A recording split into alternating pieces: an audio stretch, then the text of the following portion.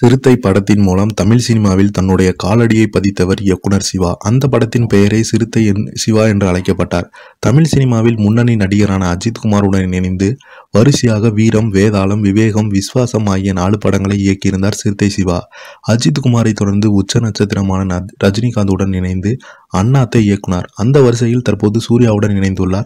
சிறுத்தை சிவா இயக்கத்தில் studio green தயாரிப்பில் சூர்யா நடிப்பில் சிவா கனவு படமாக மிக பிரமாண்டமாக உருவாகி வரும் படம்தான் சூர்யா நாற்பத்தி ரெண்டு த்ரீ டி தொழில்நுட்பத்தில் பத்து மொழிகளில் மிக பிரமாண்டமாக வெளியாக உள்ளது. இன்னும் அதிகாரப்பூர்வமாக இப்படத்தின் தலைப்பினை வெளியிடவில்லை. இதுவரை சூர்யா நாற்பத்தி ரெண்டு என்று அழைக்கப்படுகிறது.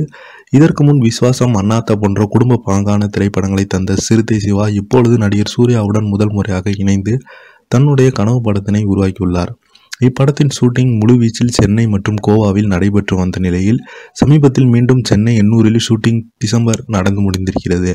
இந்த நிலையில்தான் சூர்யா நாற்பத்தி ரெண்டு பற்றி சிறுத்தை சிவா பேசிய போது இந்த படத்தின் கதை ஐந்தாண்டுகளுக்கு முன்பே கிடைத்துவிட்டது. அப்போது இருந்த வியாபாரி சூழலை நினைத்து படத்தை எடுக்க முடியவில்லை.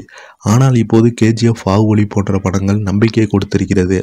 ஆகையால் பட வேலைகளை கையில் எடுத்திருக்கிறோம் என்று தெரிவித்துள்ளார். சரித்திர கதையை களமாக கொண்டு உருவாகி வரும் படத்தில் பாலிவுட் நடிகான திஷா பாடானி ஹீரோனியாகவும் யோக பாபு உள்ளிட்ட பல நட்சத்திரங்களும் நடிப்பதாகவும் தகவல் வெளியாகியுள்ளது. சூர்யா நாற்பத்தி ரெண்டு படத்திற்கு தேவி ஸ்ரீ பிரசாத் இசையமைத்துள்ளார்.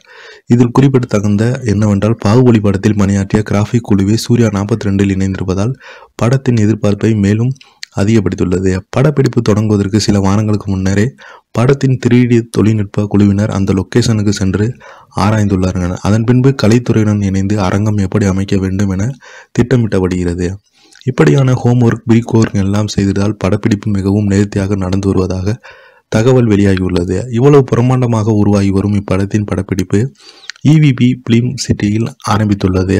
சூர்யாவின் நடிப்பு மொத்த படக்குழுவையும் வியக்க வைத்திருப்பதாகவும் கூறப்படுகிறது. இப்போ பார்த்தீங்கன்னா சோஷியல் மீடியாவில் இது ரொம்ப வைரலாகி வருது. மறக்காமல் நம்ம சேனலை சப்ஸ்கிரைப் பண்ணிக்கோங்க. நன்றி வணக்கம்.